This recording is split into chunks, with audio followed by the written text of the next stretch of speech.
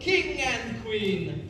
And as the warm glow of the setting sun lifts our hearts, so too does the. Um, excuse me. Could we just skip to the I do's? Hmm, go on. Very well then. Do you, Lord Farquaad, take Princess Fiona? I do. And do you, Princess... I do. Thought you might. Well then, by the power vested in me, I now pronounce you king and... Stop the wedding! Shrek? Oh, come on! What does this guy want? Really, it's rude enough being alive when nobody wants you, but showing up uninvited to a wedding. Fiona, I, I need to talk to you. Oh, now you want to talk. Well, I'm kind of in the middle of something, oh, But- so if you'll excuse me. You can't marry him And why not? because he's just marrying you so he can be king.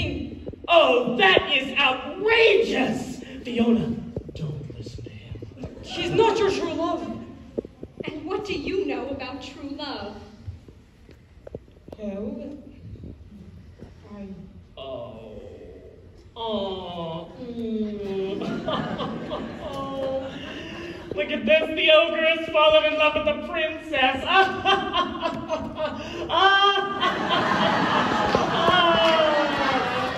oh, oh, wow. Guards, take this abomination out of my sight. No! I mean, let's hear what the monster has to say. It might be worth a laugh. Oh, you are awful. Go on, ogre. Express yourself with as few grunts as possible.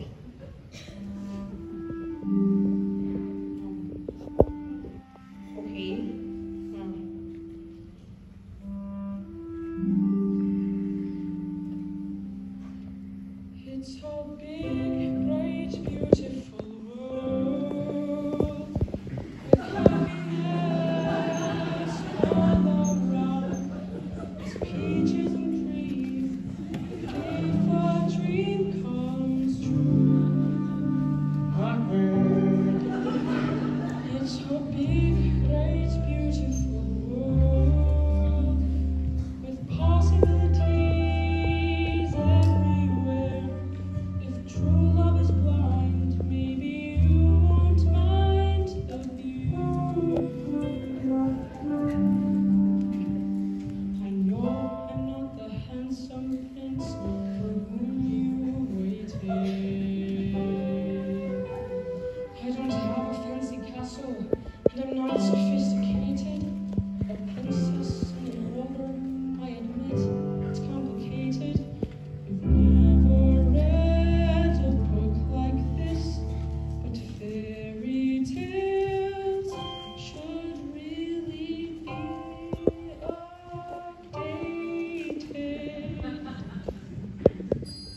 It's a big, bright, beautiful